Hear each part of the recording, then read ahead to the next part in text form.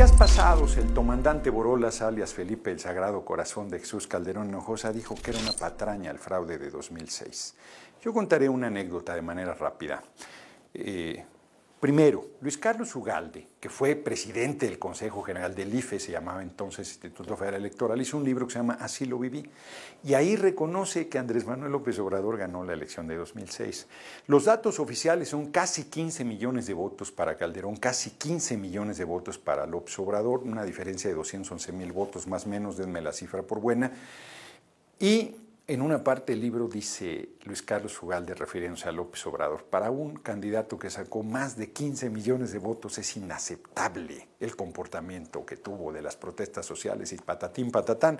Le traiciona el subconsciente y reconoce que tuvo más de 15 millones de votos, que son más que los que se le reconocieron oficialmente ganó la elección de 2006, pedimos el recuento voto por voto, casilla por casilla, se hizo el plantón en reformas, entró una crisis, Calderón le declaró la guerra al narco, que en realidad fue ponerse al servicio del Chapo Guzmán, bañó en sangre el país, viajaba con rejas, con vallas, con Estado Mayor, con policía del Estado, con ejército, con policía militar, era una locura, estado de sitio a donde iba, pues, todo el mundo puede ver los videos y ya se le olvidaron esas cosas, pero lo más importante, la anécdota, no es lo más importante, pero, en este contexto lo es. Estábamos en pleno plantón en reforma. Fui a una entrevista a Televisa con Adela Micha y estaba ahí César Nava, que era dedo chiquito de Calderón en ese tiempo. Yo entré primero a la entrevista y cuando salí me crucé con Nava y le dije, nosotros no queremos la anulación de la elección.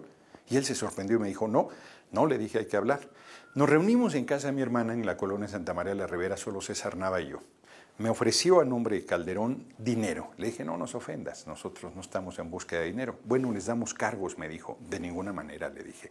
Nosotros no estamos buscando chamba. Yo le dije, lo que tenemos que hacer es el recuento voto por voto, casilla por casilla, y quien gane, salga como salga ese recuento, tres años un gobierno de transición y convoca un nuevo proceso electoral. Una posición que el hoy compañero presidente nos había dicho en una reunión de la Junta de la Dirección Política del Movimiento, de la que yo formaba parte. Me dijo Néstor Sarnava, eso no es posible, pero te ofrezco que nosotros retomaremos su programa social. Y yo le dije, pues es lo mínimo que pueden hacer, hombre, es evidente. ¿Por qué cuento esta anécdota? Porque ellos no ganaron, porque tuvo el repudio todo el tiempo Calderón y el compañero presidente en 2012 tuvo la bonomía de decir que perdonaba a Calderón de ese agravio y de ahí se agarró todavía más el comandante Borolas para decir que es una patraña. Molinaro Casitas, en una comparecencia que tuvo como secretario de Comunicaciones y Transportes, dijo que era un mantra. Y yo le dije, no, no es ningún mantra. Nosotros ganamos la elección y tú lo sabes. Esta cara dura porque tú eres responsable, junto con Calderón, de la muerte de 49 niños que murieron quemados vivos en la guardería ABC.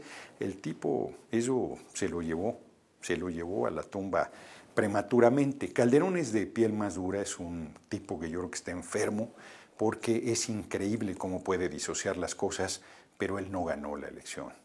Para la historia ha quedado claro, no solo está en el basuro de la historia, sino él fue usurpador de la presidencia de la República de 2006 a 2012.